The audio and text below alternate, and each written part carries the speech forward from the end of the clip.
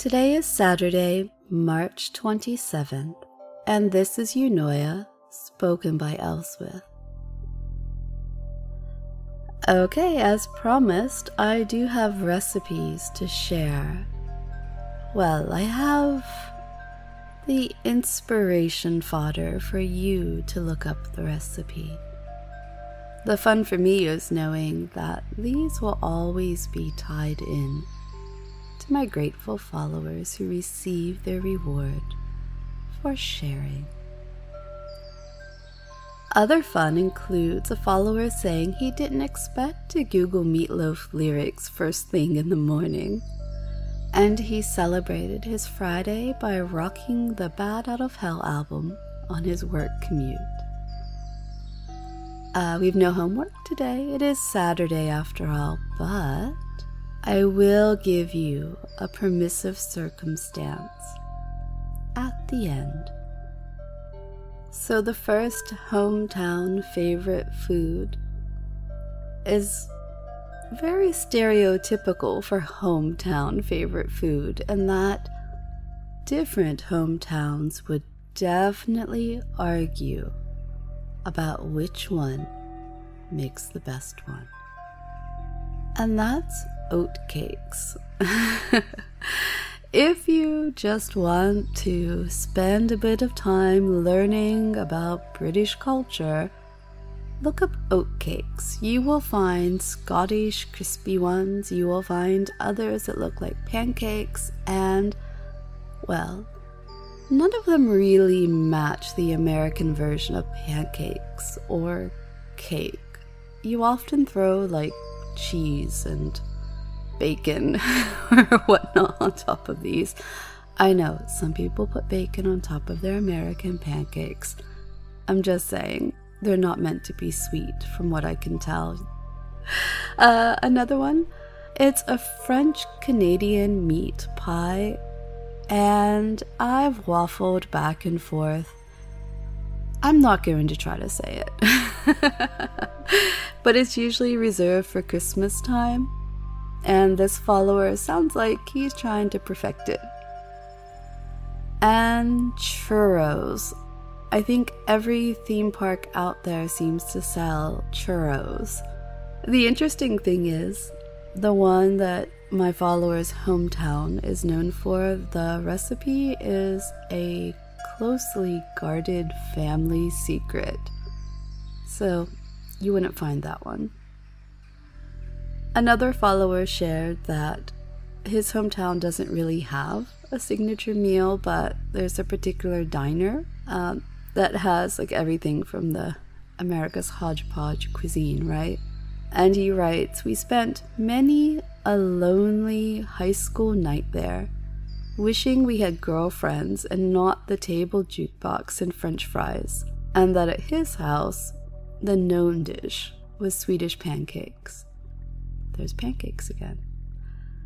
Oh, oh, and to round out our cake experience, the other one that was shared are um, crab cakes. And when I switched to, well, readopted being vegetarian a while ago, I don't know why crab was so tricky to give up. I do know part of it is because of crab cakes. The other part, which isn't an issue for me here in the UK, is uh, in the low country in the US, a lot of people make a she crab soup that is utterly amazing. So now it's time to prepare yourself. And because it's Saturday, just lays out in any position that feels right. Unless, of course, you're on public transport. Be polite.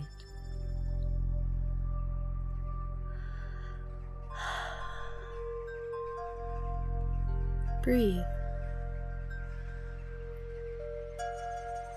In your favorite way. Being sure, though, to inhale deep and exhale fully but add in those pauses where you need them, either full of a nice deep breath or in that lull of having just expelled stress going, tension going, being open, open to today's words,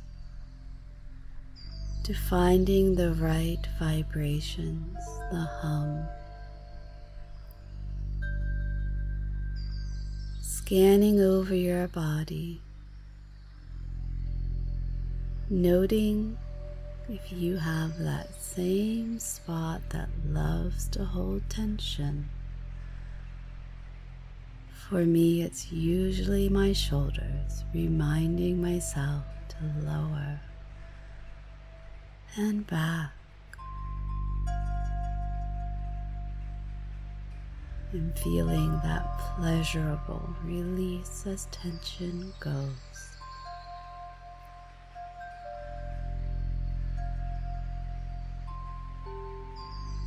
For today, we don't have just one word. I have three phrases given to me, but I'm going to wrap them up together under the word genuine. The first is at peace, chosen, as he says from my hope for coping with long standing emotional trauma this year. The other is, I will love myself. And he says, because it has been difficult. And finally, open and approachable. Without my missteps, allow others to connect with me and find me useful. I put these together under genuine because the vibrations from them resonated in a similar way. It's hard to heal from trauma when you have so much else cluttering up your world.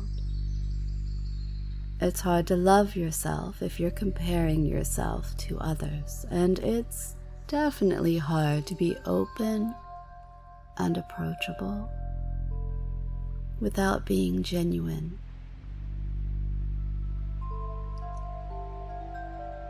When the pandemic started, when the lockdown started, there was this big flurry of you must be productive and do all these things with this newly found free time.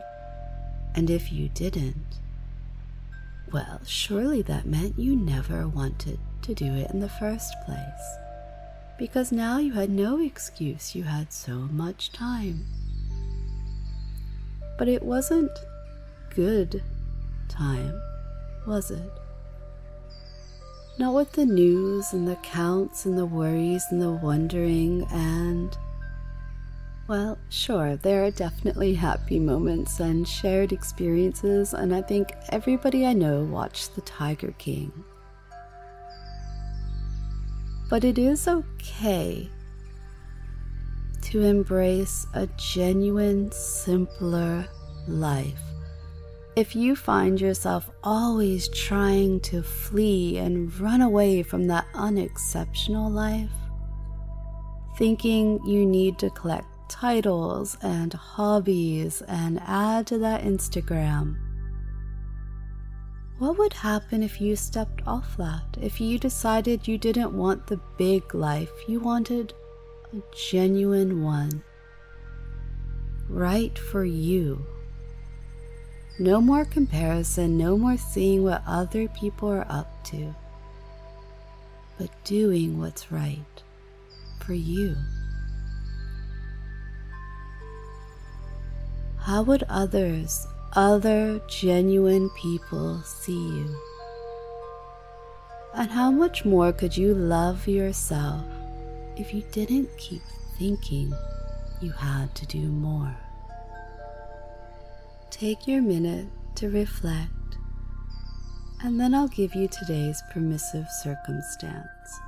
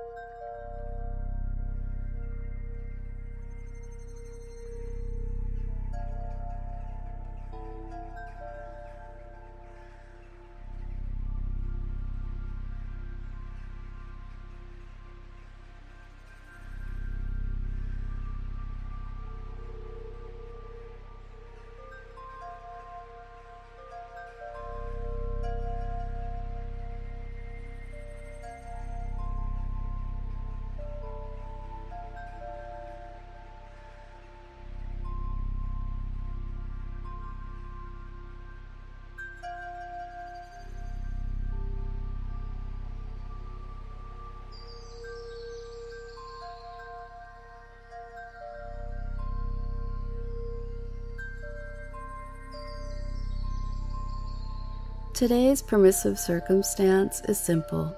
If you gave yourself a break yesterday or today, you've met it.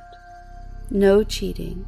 Did you honestly decide to cut yourself a break yesterday or earlier today and follow through on it?